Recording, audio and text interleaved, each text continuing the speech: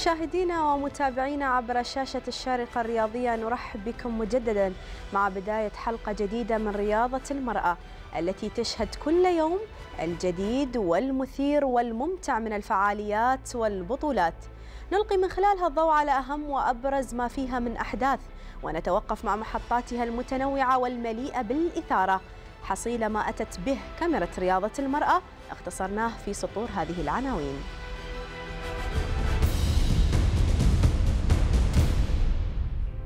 النقبي تكشف النقاب عن سر نجاح الاستراتيجية داخل المؤسسة الرياضية. الرياضة والطب وجهان يكشفان عن معايير النجاح التنظيمية في الألعاب الخاصة العالمية. نادي الشطرنج والثقافة للفتاة بالشارقة يرفع شعار الوفاء لأصحاب الإنجازات والعطاء. شم وشيخة توأم ألعاب القوى ترفضان فاصل الدقيقتين بينهما. والقرص يرضخ لإعجاز أرقامهن. صليل سيوف الشارقة يسمع على منصة تتويج ويحتكر الألقاب في أمسية من ذهب وفضة.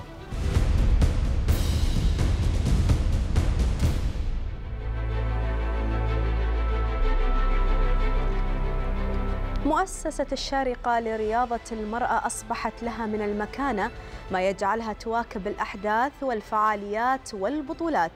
بل ورسم.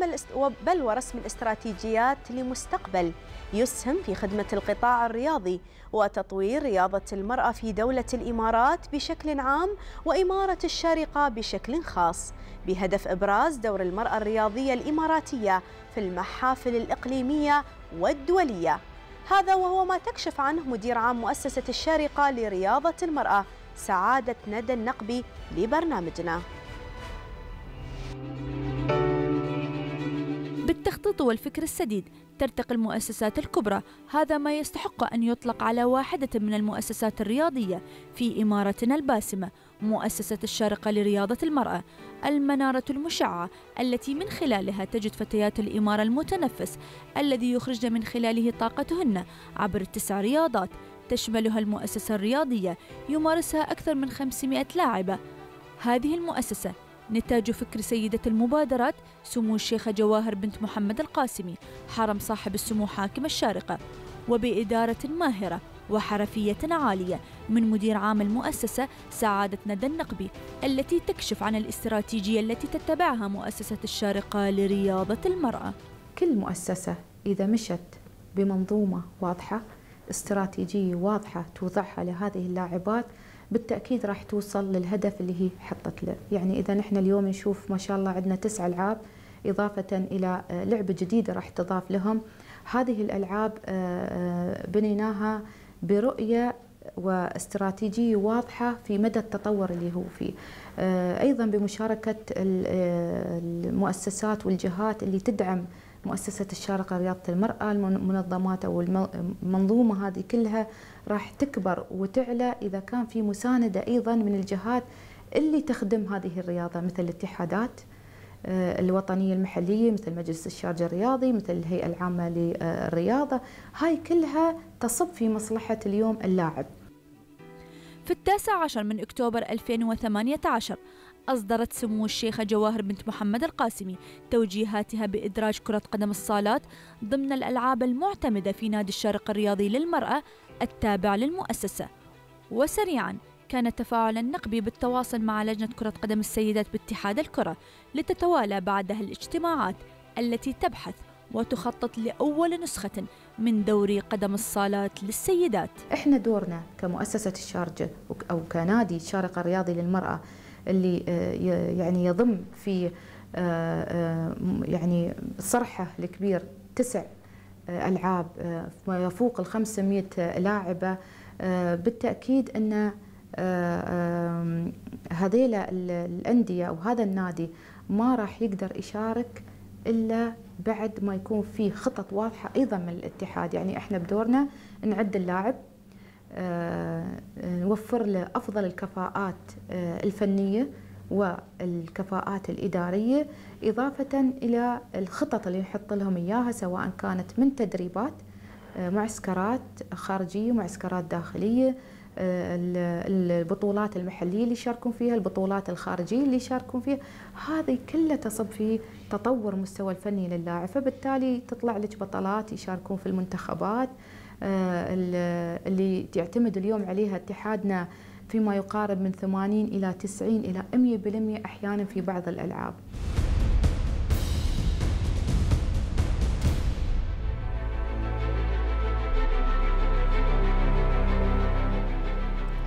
طبعا دور بارز ومهم تلعبه مؤسسة الشارقة لرياضة المرأة من أجل خدمة القطاع الرياضي من كافة الجوانب خصوصا وأن رياضة المرأة بالدولة وصلت إلى مراحل متقدمة بفضل دعم القيادة الرشيدة بشكل عام وأيضا الاهتمام الذي تحظى به في إمارة الشارقة على وجه الخصوص والتي باتت الوجهة المفضلة للرياضة النسائية بعد النجاح الكبير لدورة الألعاب للأندية العربية للسيدات التي استضافتها الإمارة على مدى نسخاتها السابقة.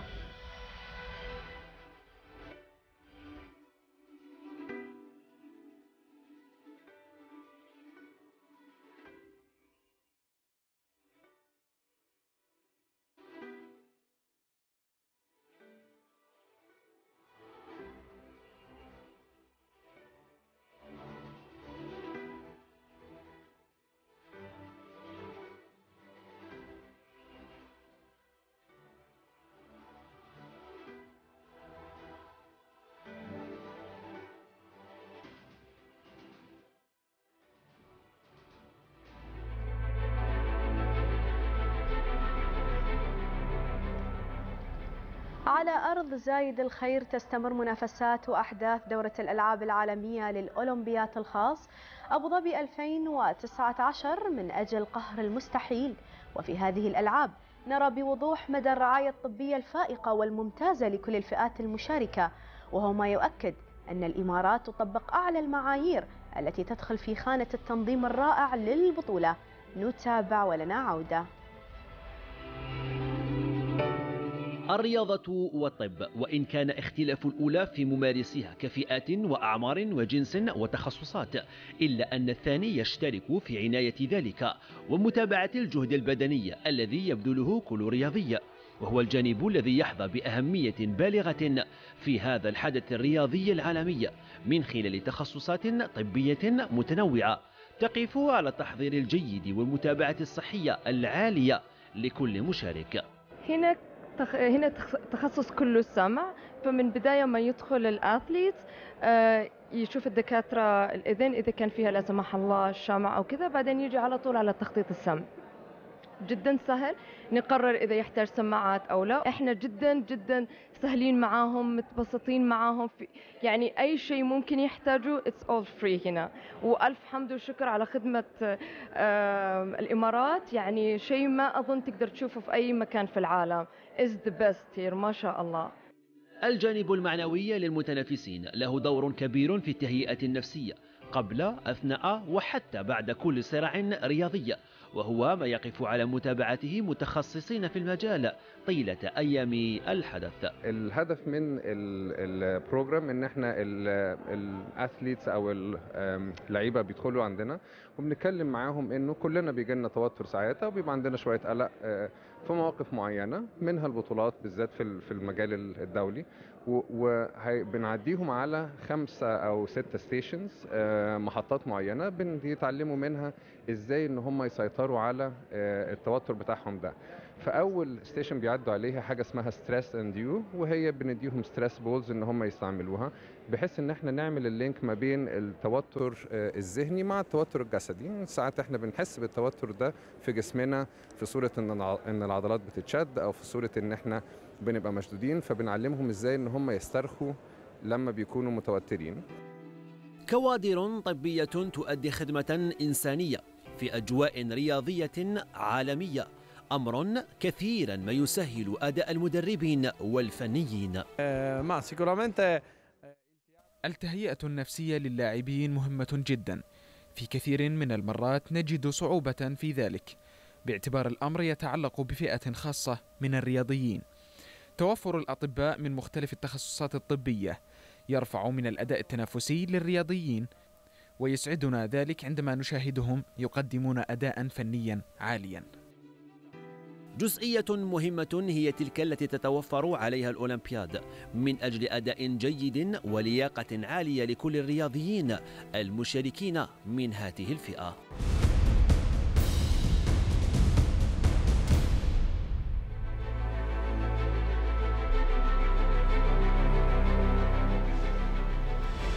وتتوالى الفعاليات والأحداث على أرض زايد فمع البطولات تتحقق الإنجازات التي تستحق التثمين والتقدير. ومع واحدة من الاحتفالات الاحتفالات الكبرى لتكريم بطلات الشطرنج. كان حفل قاعة الجواهر للمناسبات والمؤتمرات بالشارقة الذي نظمه نادي الشطرنج والثقافة للفتيات بالشارقة للإنجازات التي تحققت في عام 2018 زميلتنا رشا محمد كان لها تغطية خاصة للحدث. نتابع. في أمسية مميزة بقاعة الجواهر للمناسبات والمؤتمرات أقام نادي الشطرنج والثقافة للفتيات بالشارقة حفله السنوي. في بادرة تتكرر كل عام يحتفي فيها النادي باللاعبات البطلات. تقدم الحضور الشيخ صقر بن محمد القاسمي رئيس مجلس الشارقة الرياضي والشيخ سعود بن عبد العزيز المعلى رئيس مجلس إدارة نادي الشارقة الثقافي للشطرنج وسعادة اللواء سيف الزر الشامسي قائد عام شرطة الشارقة وسعادة ندى النقبي مدير عام مؤسسة الشارقة لرياضة المرأة والدكتور سرحان المعيني رئيس اتحاد الإمارات للشطرنج وسعادة عيسى هلال الأمين العام لمجلس الشارقة الرياضي. مبارك لأعضاء مجلس إدارته ولمنتسبين آه، آه، نادي الشطرنج الفتيات. شفنا اليوم كوكبة من الفتيات الجميلات اللي هم يعتبرون إن شاء الله مستقبل هذه اللعبة في في إمارة الشارقة. وأتمنى لهم التوفيق في اختيار هذه اللعبة المناسبة اللي تنمي عقل الأطفال. ونتمنى لهم التوفيق ونتمنى لكل من يساهم في هذا الإنجاح. وقام مجلس إدارة نادي الشطرنج والثقافة للفتيات بالشارقة بتكريم كل الجهات والشركاء المساهمين في إنجاح منظومة العمل ومسيرة النادي وهي مجلس الشارقة الرياضي ونادي الشارقة الثقافي للشطرنج وشرطة الشارقة واتحاد الإمارات للشطرنج. حقيقة محظوظين في دولة الإمارات وفي إمارة الشارقة بالذات محظوظين بهذه القيادة المهتمة فينا يعني مهتمة بالنشء مهتمة يعني لا تنظر أكثر ما تنظر فيها إلى الاحتفاظ بهذا النشء يعني أكثر حتى من النتائج يعني دائما توجيه صاحب السمو الله يحفظه يقول نحن همنا الكبير أن نحافظ على النشء نحافظ على الأطفال من الفراغ من عفوا من الخروج إلى خارج. ولهذه هاي الأندية تحتضن هاي البراعم الصغيرة سواء آه، وصلوا فيهم من يصل الحمد لله إلى نتائج جيدة ومشرفة على مستوى الدولة ورفعوا علم الدولة خفاقا في جميع المحافل الدولية. كما قام نادي الشطرنج والثقافة للفتيات بالشارقة بتكريم اللاعبات أصحاب الإنجازات في مختلف البطولات المحلية والدولية خلال عام 2018 وكذلك الهيئة الإدارية والفنية والمدربين بالنادي. آه، في البداية أتوجه بالشكر الجزيل إلى سمو الشيخة جواهر بنت محمد القاسمي على دعمها اللامحدود آه، للرياضات سواء النسائية والغير نسائية آه، ونعدها إن شاء الله بتقديم ما هو أفضل في هذا المجال وفي هذا يعني في هاي الرياضات. اليوم من هذا المنبر أنا أتوجه بالشكر الجزيل إلى جميع اللاعبات المنتسبات إلى النادي على جهودهم آه، وعلى مشاركتهم المستمرة معنا في في نادي الشطرنج والنجاحات اللي آه، برزوا فيها من خلال عام 2018 آه، رؤيتنا إن شاء الله بتقديم الأفضل مستقبلياً.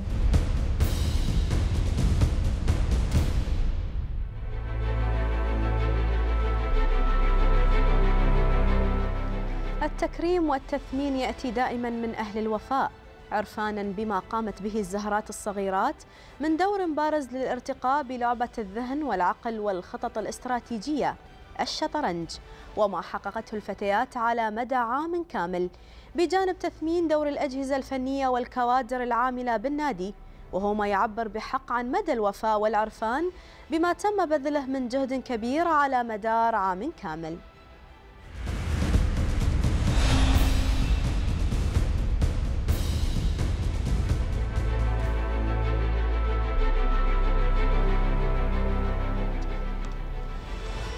وتزامنا مع الألعاب العالمية للأولمبيات الخاص لابد أن تكون لنا وقفة مع أبرز النماذج التي تنير سماء الرياضة الإماراتية. ليس بإنجازات هذه الفئة فحسب وإنما لأنها فئة تستحق منا جميعا كل الاهتمام والتقدير لما تقدمه من قصص نجاح باهرة. وها نحن أمام قصة جديدة بطلتها فتاتان تلازمتا منذ المولد وتعاهدتا على أن تسيرا جنبا إلى جنب وتحققا الإنجازات سويا. تعالوا معنا نتابع تفاصيل قصة التوأم الذي يفصل بينهما دقيقتان.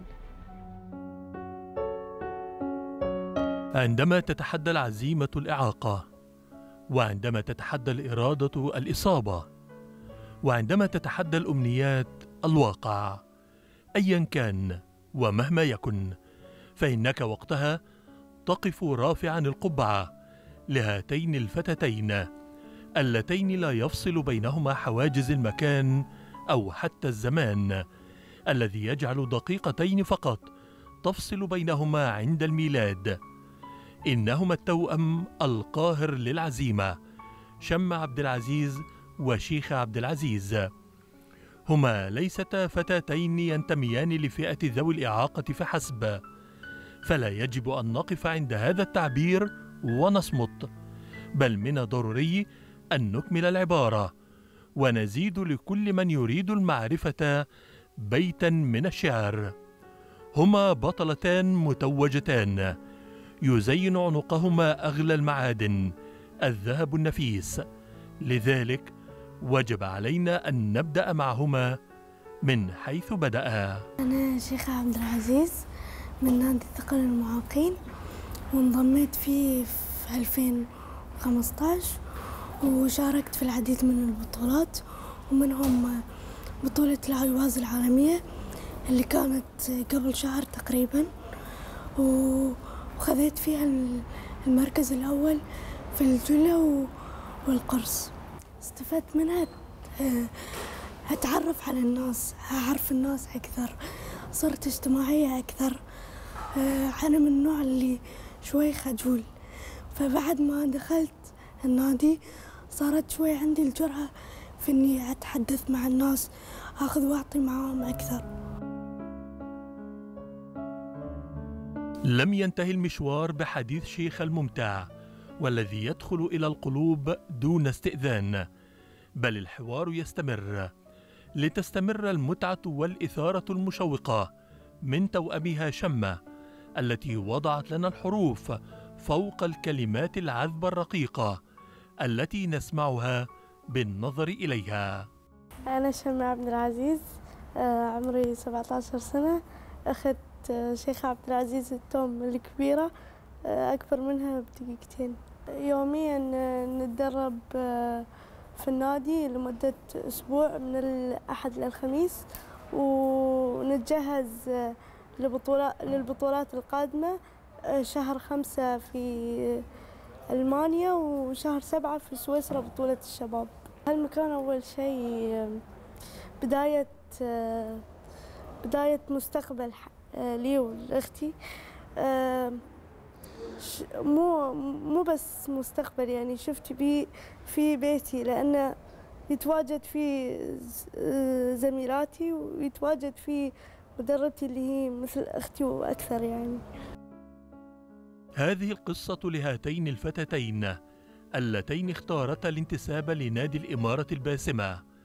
لا تجعلنا نندهش أو نستغرب للحظة واحدة من سر تفوقهما لسبب بسيط ألا وهو أنهما يستمدان طاقتهما من مجرد لحظات الوقوف والتأمل أمام نصير المعاقين. صاحب السمو حاكم الشارقة. سلطان قلوب هذه الفئة. بل وكل فئات المجتمع والجنسيات. شكرا بابا سلطان لأنك دعمتنا في وايد أشياء ولولاك أنت ما كنا طلعنا وما كانوا الناس عرفونا شكرا لأنك خليتنا نكون أقوياء خليتنا نكون شجعان أن نطلع بين الناس ونثبت وجودنا بينهم.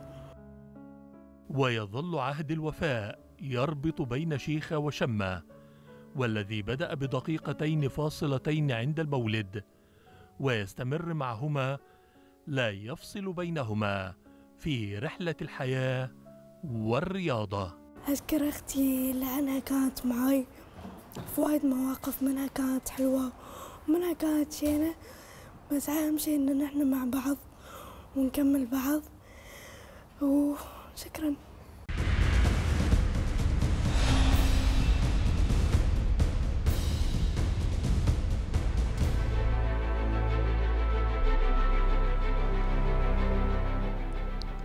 نستطيع أن نقول أبلغ مما ذكره صاحب السمو الشيخ محمد بن زايد آل نهيان ولي عهد أبو ظبي نائب القائد الأعلى للقوات المسلحة عند افتتاح الألعاب العالمية للأولمبيات الخاص.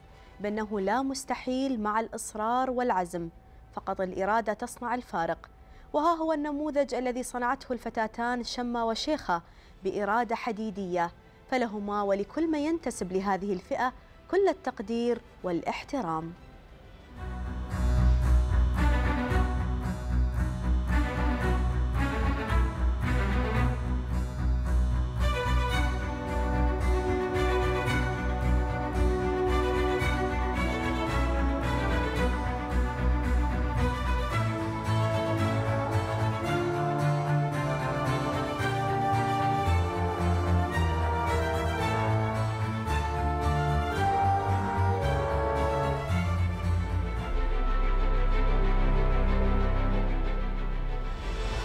عودة للأحداث والفعاليات ولنا وقفة الآن مع بطولة الاتحاد للمبارزة فرقي في الأسلحة الثلاثة للرجال والفتيات والتي شهدت مشاركة واسعة من أندية الدولة. وبجانب هذا كانت المشاركة الإيجابية من لاعبات نادي الشارقة الرياضي للمرأة اللاتي حققن نتائج جيدة على مستوى المنافسات الثلاثة في الفلوري والإبي والسابر.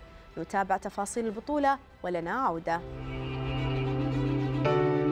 على الصالة الرياضية الكبرى بمنطقة رأس الخيمة التعليمية أقيمت بطولة الاتحاد للمبارزة فرقي في الأسلحة الثلاث للرجال والفتيات والتي شهدت مشاركة واسعة من أندية الدولة ومراكز التدريب المتخصصة بلعبة النبلاء وهي بنياس ونادي الوحدة الرياضي وأكاديمية دبي ومركز دبي ومركز العين ومركز الغيل برأس الخيمة ونادي شباب الأهلي دبي والمدرسة الإماراتية التابعة لوزارة التربية والتعليم بجانب نادي الشارقة الرياضي التابع لمؤسسة الشارقة لرياضة المرأة.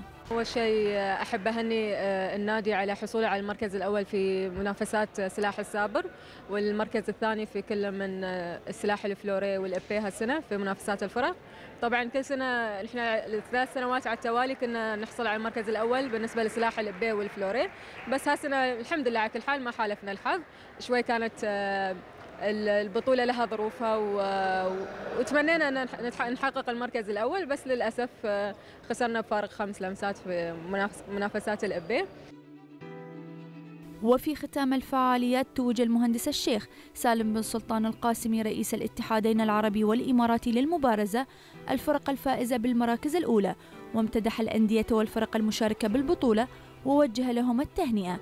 وأشار إلى أن البطولة جاءت قوية ورائعة من مختلف النواحي والتي شهدت تنافسا كبيرا بين جميع الفرق المشاركة والتي مثلت أكثر من 11 ناديا ومركزا للمبارزة بالدولة. وشارك فيها أكثر من 125 لاعبا ولاعبة يمثلون الأندية المشاركة التي حرص لاعبوها ولاعباتها على المشاركة الإيجابية والتنافس الشريف والتحلي بالروح الرياضية العالية من الجميع. وشهد فعاليات البطولة حضور راشد الشمالي رئيس اللجنة الفنية من الاتحاد الكويتي للمبارزة. المبارزة الإماراتية قامت تحقق نتائج طيبة خلال البطولات العربية والبطولات الخليجية. نعم ممكن نقول أن العنصر النسائي أو الرياضة النسائية في دولة الإمارات صراحة قفزت قفزة يعني كبيرة على المستوى الخليجي وقمنا نلاحظها في المستوى العربي في البطولة العربية الأخيرة اللي أقيمت في فبراير اللي طاف في الكويت احتلوا المراكز الأولى كلها واحتلوا صدارة الترتيب العام للبطولة.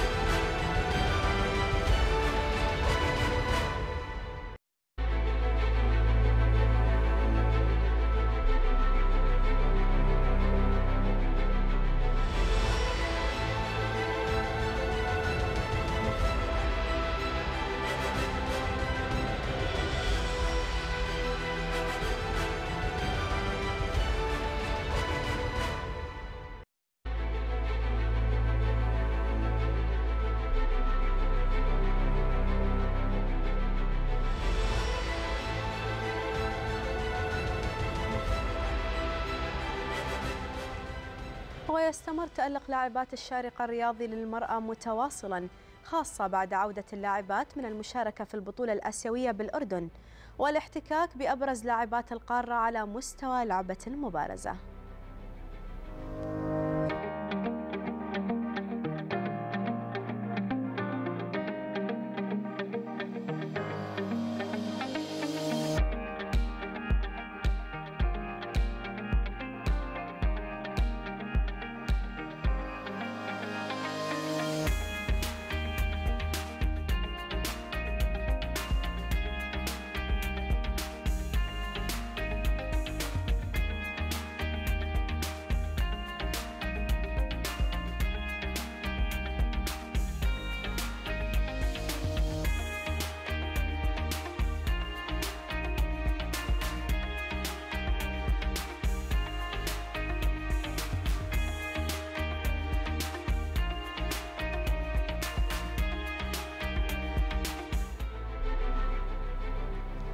مشاهدينا ومتابعينا وصلنا لمحطة الختام في رحلة الرياضة التي كانت مليئة بالأحداث والفعاليات المختلفة والمتنوعة. حتى نلتقي في حلقة قادمة لكم كل التحيات.